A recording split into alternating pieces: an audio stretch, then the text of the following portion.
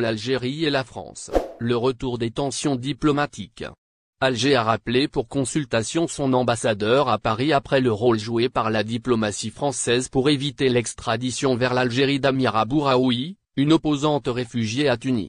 La relation entre Paris et Alger, soumise à des fluctuations cycliques, est entrée dans une nouvelle période de crise avec la décision, du président Abdelmadjid Tebboune, annoncée mercredi 8 février, de rappeler pour consultation l'ambassadeur algérien en France. Ce geste de mauvaise humeur répond à l'intervention lundi de l'ambassade de France à Tunis destinée à éviter à l'opposante algérienne Amira Bouraoui, également détentrice d'un passeport français, son extradition vers l'Algérie à partir de la Tunisie où elle était entrée, illégalement trois jours plus tôt afin de s'y réfugier. Grâce à l'assistance diplomatique de Paris, qui a obtenu l'autorisation du président tunisien, Kaïs Sayed, de la laisser quitter le territoire tunisien, la journaliste a pu embarquer sur un vol à destination de Lyon. Son exil n'est qu'une manifestation parmi tant d'autres de l'intensification de la répression en cours en Algérie contre les noyaux résiduels du Irak, le mouvement de protestation qui avait enfiévré le pays en 2019 et en 2020, et dont Madame Bouraoui faisait partie. Aux yeux d'Alger, le rôle joué par la France se relève d'une exfiltration clandestine et illégale d'une ressortissante algérienne réclamée par la justice de son pays, dénonce un communiqué du président Tebboune.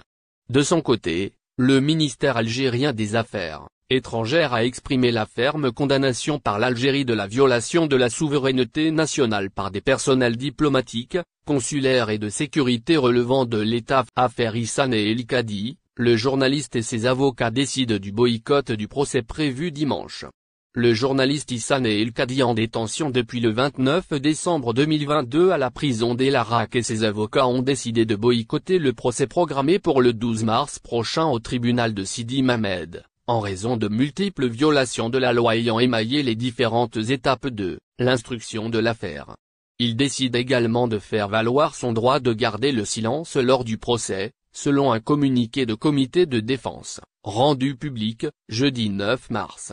Plusieurs violations de la loi ont émaillé cette affaire, depuis l'arrestation du journaliste, sa mise en garde à vue et son placement en détention provisoire en passant par la mise sous scellé des locaux d'interface, médias, sans aucune décision de justice conformément à la Constitution et au Code de l'information, lit-on dans le communiqué devant ces graves infractions à la loi étant l'absence des conditions et des garanties du droit à un procès équitable comme le stipule l'article 41 de la Constitution et l'article 14 de la Convention internationale des droits civils et politiques, ratifiée par l'Algérie, qu'elle est tenue d'appliquer conformément à l'article 171 de la Constitution, ainsi que le premier article du Code de procédure pénale, souligne le document. Pour rappel, le journaliste Kadi Issan qui a été arrêté dans la nuit du 23 au 24 décembre 2022 est placé en détention provisoire depuis le 29 décembre 2022 après quelques jours de garde à vue dans les locaux de la Direction Générale de la Sécurité Intérieure, à Alger. Il est poursuivi pour quatre chefs d'inculpation à savoir réception de fonds depuis l'étranger afin faire de la propagande politique, réception de fonds depuis l'étranger pour commettre des actes contre la sécurité de l'État et l'unité nationale, publication de tracts de nature portant atteinte à l'intérêt national et collecte de fonds sans autre France, un rassemblement de soutien à l'Algérie prévu à cette date. Les membres de la diaspora algérienne établie à l'Hexagone entendent organiser prochainement un rassemblement à Paris pour exprimer leur soutien à l'Algérie. Zerdi vous en dit davantage à ce propos dans la suite de ce numéro du 10 mars 2023. En effet, la diaspora algérienne présente sur le sol français entend organiser, bientôt une manifestation pacifique. Selon les organisateurs, ce rassemblement prévu en France vise à apporter le soutien à l'Algérie. En effet, cette campagne, lancée sur les réseaux sociaux, se veut pacifique, selon les mots des initiateurs.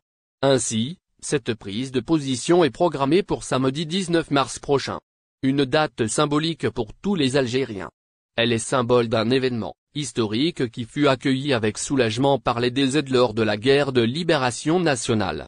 Le 19 mars 1962 marque l'arrêt officiel des combats de la guerre d'Algérie. Cela à la suite de la signature des accords déviants entre les deux parties opposantes, à savoir françaises et algériennes. Depuis, une date commémorée chaque année aussi bien en Algérie qu'en France.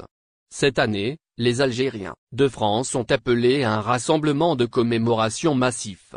Rassemblement du 19 mars en France, les stars algériennes soutiennent l'action à noter que la manifestation est programmée le 19 mars prochain à partir de 13h, à la place de la République à Paris.